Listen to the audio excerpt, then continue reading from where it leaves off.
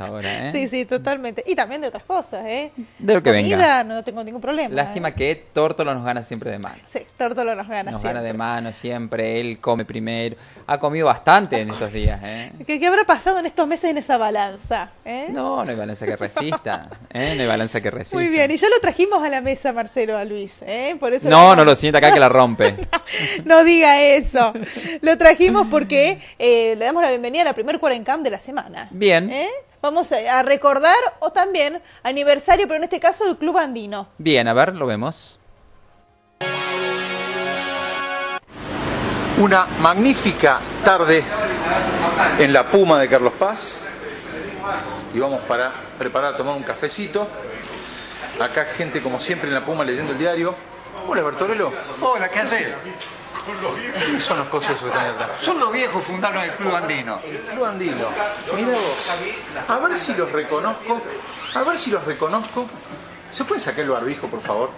Con cuidado, están todos con distancia social. Vamos a ver si me acuerdo los nombres. Carletti Mario. Así es. Boiras Uruguay. Eh, Chiodi Ever. Sí, señor. Ever Chiodi. Aldo Sánchez. Exacto. Ernestito Mateo. Y a vos te tengo visto a algún lado. Quique Bolsi. Enrique, Enrique Enrique Quique Bolsi. Está la historia viva de la montaña de Carlos Paz acá, si no me equivoco. Exactamente. ¿Eh? Que no es lo mismo que decir los secretos de la montaña. No, no, no. Vamos a arrancar con los dos. Con. Vamos a arrancar con ellos dos. Ernesto, Sí. 35 años del Club Andino. 25 años. Contame algo. Empezamos con el Aldo, era el Club Andino Córdoba, y un día nos cansamos de ir al Club Andino Córdoba y dijimos, vamos a hacer un club acá. Lo hagamos nosotros. Y lo hagamos nosotros y chao. Y así fue. Y el Aldo es este que está acá. Fuimos los disidentes de- del Club Andino Córdoba. Ah, sí. ¿Y los del Grupo Andino de Córdoba cómo lo tomaron a eso? Bien. No, bien, Apa- bien, Apadrinaron. porque aparte nosotros estamos acá más cerca de los gigantes que nosotros. Sí. Y- Así que estamos hablando de 1985. 85, ¿Y dónde se juntaban, Aldo, las primeras reuniones? La Bueno, estuvimos en casa. en distintos lugares, en tu casa, En mi casa hicimos. después en el centro prestaron oficina, después hicimos, construimos. Pero podemos decir que nació en tu casa, al fondo de tu casa. Al fondo de casa. Y después empezó a agregarse gente. Y ahí empezamos. ¿Qué, qué, te acordás? Vos te acordás mucho, Quique, no te hagas el desmemoriado. No, a mí me contagiaron estos dos. ¿Ah, sí? Sí. A, a 70 y no me acuerdo, estaba Marcelo Pensa de presidente de Clonino Córdoba, Sí, sí. creo. Sí. Y no, fuimos a parar inclusive la lucha que hemos tenido, hemos ido a parar debajo de una escalera, para que tienes una idea prestada por el doctor Julio Codó, eh, oftalmólogo acá de Carlos Sí, Paz, sí, y sí. bueno, sus hijos La Carolina tuvo un ejemplo. el primer curso de, de rock y hielo que se hizo en el club Sí. y los primeros socios y grandes montañistas también. sí. Ya vuelvo por este sector de pelo blanco, vamos a un sector donde todavía queda algo de color en el pelo. Mario Carletti, ¿y vos qué me puedes contar de aquellos Y 35 nosotros años atrás? somos los más jóvenes con el Ever. No de edad, de edad. No, somos los que vinimos después. O sea, Pero están estamos- impecables los dos, Ah, ¿eh? bueno, gracias. Sí, sí, Eh, nosotros también estábamos haciendo un curso en el Club Andino Córdoba y de ahí, bueno, nos conocimos con la gente de Carlos Paz que ya tenía años en la montaña, pero que nunca habían formado un club. Y bueno, decidimos armar este grupo que vemos ahora y bueno, y formar y hacer la- los primeros pasos para formar un club. Así que todos creo que pasamos por, por algún momento por el Club Andino Córdoba. seguramente arrastrando chicos y todo, y, vos- y siempre cuidándose con cafecito y con, eh, veo que cafecito y alguna excepción también. Refresco. Sí, algún refresco. Ah, Aclaremos que ya hace calor. Eh, hace mucho calor. El momento no, que café, la no da para calor. café, no da para café. Chodi, ¿qué Esto- te acordás vos de eso? y bueno, un poco eh, hablando de esto que decías vos de los chicos, yo lo que recuerdo es cuando armábamos los grupos de niños en Carlos Paz para llevarlos a la montaña, que a veces los llevábamos en dos jeep Ica que teníamos y eran más o menos unos veintipico de chicos divididos en dos jeep Ica, que hoy sería imposible hacerlo. Olvídate de seguros, olvídate de... Todo el riesgo lo subíamos nosotros. ¿Eh? Eh, sí, sin cinturón de seguridad, sin frenos ABS. Eran eh, alrededor de 15 pibes por jeep, más o menos. Chicos que ahora deben tener más o menos ahora 50 años. 40 o y pico, sí, 40 y pico Me vuelvo a la zona de los que tienen más experiencia, porque las canas dice que son fruto de la experiencia. Dos refugios en la montaña. Hábleme acá- de- del de acá- abajo y de... Acá el, el refugio de Rafael Juárez fue el trabajo de todos los muchachos que lo hicimos en un año. En un año hicimos un En un refugio año arriba. en alta montaña. ¿eh? Ese se ¿Cómo llama subían los Rafael Juárez. materiales? Bueno, no hay material, no hay caminos para llegar, así que fuimos llevando a hombro todo un poco. Después conseguimos unos personas tenían una 4x4, llegó por el Cóndor, pero también nos dejó más de una hora. No había que subir, pero era la misma distancia caminar con, con el material, el Portland, todo, todo se llevó porque no tenía muchos recursos. ¿Y, y cómo andamos de, de algunas dolencias en las caderas, rodillas, eso? ¿Hago algunas secuelas de montaña? Son las mejores. Pero impe- impecable estamos aquí. Cada una, sí, cada una me recuerda momentos lindos, agradables. Quiero decir que está el Piti y estoy yo acá porque cuando el club tenía siete años empezamos a hacer cosas en encuentros, ¿te acordás? Claro. Mostramos Mira, quería hacer una pequeña acotación a lo que contaba Ever de la- Sí. Era una escuelita de, de chicos muy chicos. ¿Qué edades tenían los chicos? Entre los 6 y los 15 años. 6, 15 años, él tenía un jeep de color amarillo, yo uno blanco, pero los únicos que teníamos teléfono fijo, porque no existía celulares, era eh, en mi casa. Entonces dábamos a todos los padres de lo que salíamos el número de teléfono en mi casa. Mira vos. Y nunca volvíamos temprano, siempre volvíamos de noche. Las llamadas que recibía mi mujer. GPS ni en los sueños de Julio Verne. No, GPS, no, no, nada. no había, no nada. Acordate, a los dos, a los dos le pregunto, cuando me llevaron al fondo de la quebrada del Condorito, zona hoy intangible, Hoy no se puede llegar. Hoy no se con puede el gringo llegar. Michelú. Exacto. Llegó hasta abajo el gringo Sí, Michelú. sí, sí. Y mi viejo que quedó a la mitad. Había un sendero que hoy debe estar borrado, ese sendero donde se podía bajar hasta la cascada de la quebrada del Condorito, que era un paseo muy normal, desde que es parque, eso nunca más se pudo hacer. Nunca más se pudo llegar hasta ese lugar. Con esa- ese cascadón de fondo. Un cascadón de fondo entre medio de un bosque de tabaquillos hermosísimo. Y el hecho. Yo me acuerdo que no, sabía dónde pisar porque parecía que estaba pisando los Claro, mucha humedad por la cascada, por la, es decir, Bueno, el agua que... Carletti, definime en pocas líneas la montaña. ¿Qué es la montaña para Mario Carletti? Mira, para mí es eh, primero el mejor paisaje. Creo que si tengo Más que el elegir- mar. Ah, por supuesto. Hay gente que- Es más, yo mis vacaciones son la montaña. La montaña. Para- si tengo que por ahí eh, optar por algún otro es porque es un, algún negocio con la familia. pero Eh, si hay, no- que- hay que transar con la La montaña para Ever Chodi, La montaña.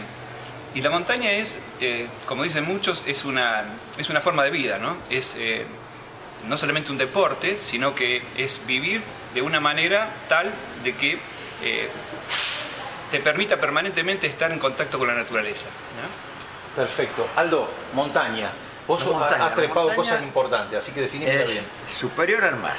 El mar es difícil de entender, es muy complicado. Como ser este. mm, Pablo Neruda dijo que una playa era la línea de soledad más larga que existe, o sea, así le definió, como que en vez de la montaña uno, se siente más agradable, más protegido, y después subir, es el, el instinto de uno estar siempre mejor, estar en, lo que tiene el ser humano, no quiere ser- superarse, y la montaña se parece a eso, porque es todo un esfuerzo para andar en la montaña. Y por supuesto hay mucho para disfrutar, para andar, para ver, para hacer.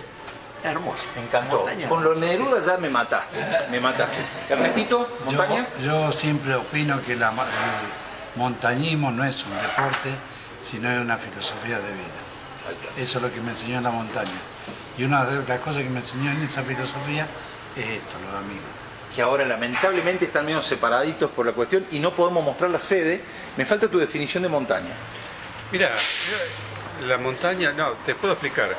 Con Ever hemos ido, aparte, hemos sacado también y con Aldo este, a muchos chicos eh, y, y muchos clientes, porque hemos sido, hemos sido guía de montaña. Están haciendo gestos, perdona que me ría. Sí, no, no me podía concentrar. ¿A qué se querían Menos mal que quedaron fuera de cámara los gestos. Menos mal que ¿Qué, no. ¿Qué hiciste? ¿Qué hizo? No, son unos gestos imposibles de reproducir.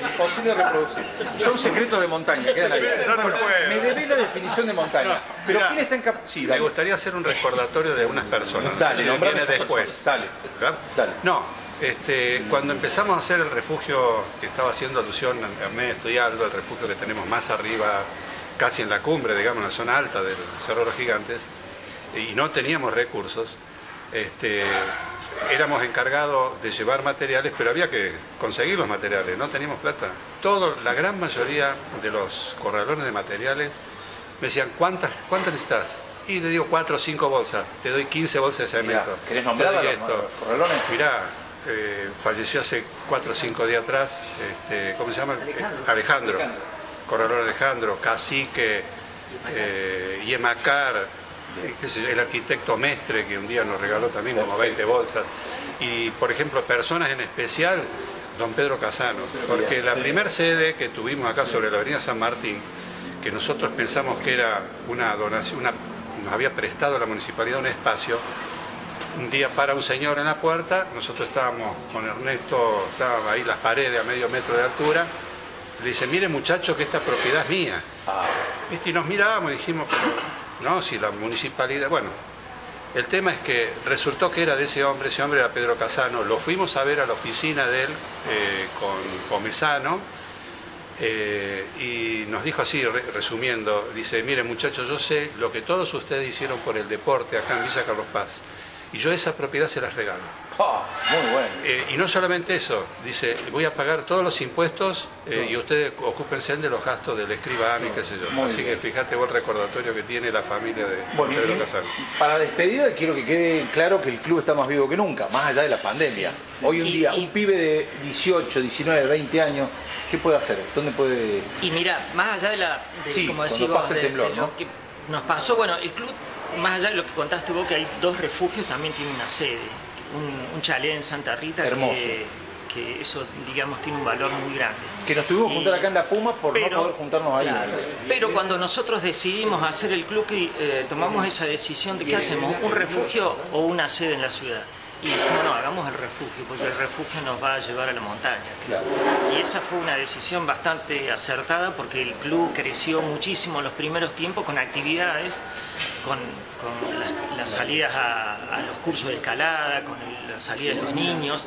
Eso eh, fue fundamental haber tenido el refugio en la montaña. Y bueno, y en la sede ahora, por supuesto, los tiempos también fueron cambiando y ahora se armó una gran palestra que permite que los chicos hagan actividad deportiva, digamos, dentro de la sede del.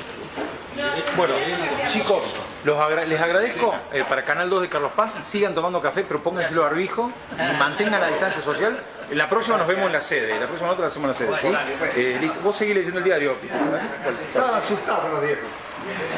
Y así estuvimos con la historia viva del Club Andino de Carlos Paz, que se tuvieron que juntar en la Puma porque no se pueden juntar en la sede por estas cuestiones que tiene el COE.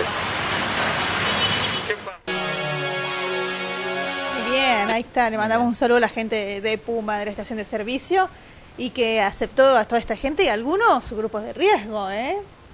El Piti, ¿qué es el, el Piti que es ca- catador de café?